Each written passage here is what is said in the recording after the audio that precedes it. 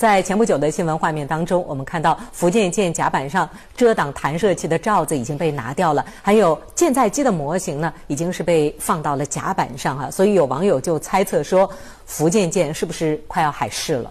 也快了，我想也为期不远了。呃，航母的建造和使用实际上有几个阶段。首先一个呢，就在航母建造完成以后，要进入一个西装阶段。那么对航母上的一些系统，包括武器系统。还有通信电子系统进行西装，那么这一切都结束以后，那么要进行在港口码头上的计泊试验。这计泊试验主要是想，呃，试验一下这个静态状态下我们的这动力系统，还有武器装备系统、通信电子系统能不能正常运转？还有一个这些装备之间、系统之间有没有相互的干扰？计泊试验主要是由这个工厂。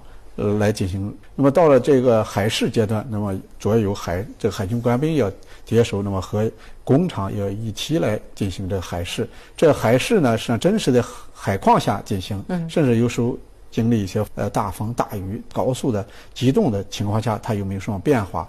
等海试这个期间发现的问题都解决了，那么下一步就该正式交付海军使用。嗯，舰载机是航母的核心战斗力。那新的航母是不是也要有新的舰载机，包括舰载无人机、舰载预警机什么？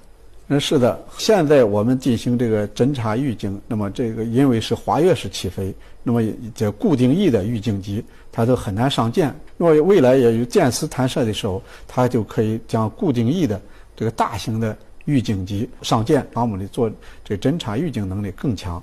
这些年应该说啊，咱们这个海军的装备技术发展非常的快。呃，你比如说这个舰船啊，每年下水的舰船都很多，所以我看有网友就很形象的说，就跟下饺子似的。